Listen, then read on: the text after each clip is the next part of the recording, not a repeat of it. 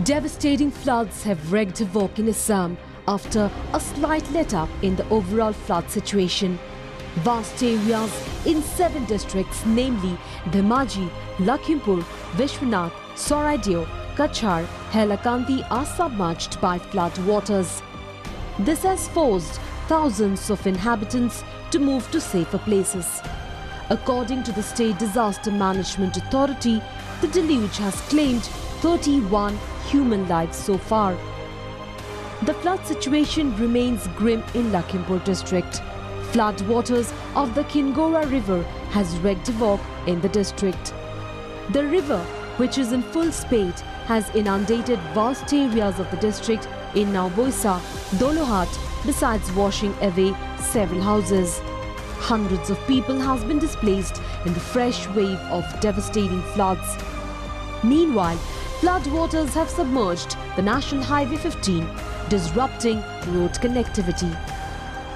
One PWD road has been breached, but other than that, uh, water is flowing towards the villages where it was not expected.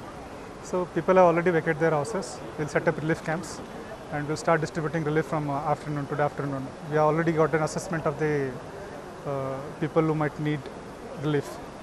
Uh, currently, there is no need for any human rescue because we have not got any such report for uh, for the need for uh, rescuing people, but uh, we are rescuing our NSK folders, NRC folders. Uh, uh, our controller has given, room has given the data about 10 number of villages getting affected.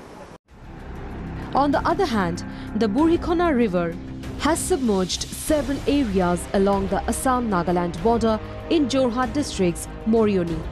A bridge was also washed away in Udaipur, cutting off the area from the rest of the state.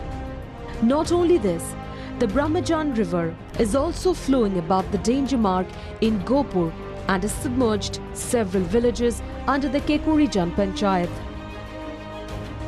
The worst affected areas are Kekurijan, Bogabosti, Tinikonia, besides others.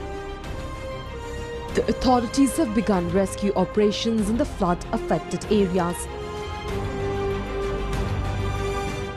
The flood situation has worsened in eastern Assam's Charaideo district, with flood waters submerging around 100 villages under the Sonari, Mahmora and Sapekhati circles.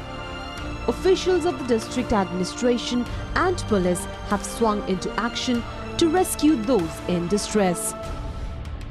The Doigrang River is also in full spate and has triggered massive erosion besides inundating a number of villages.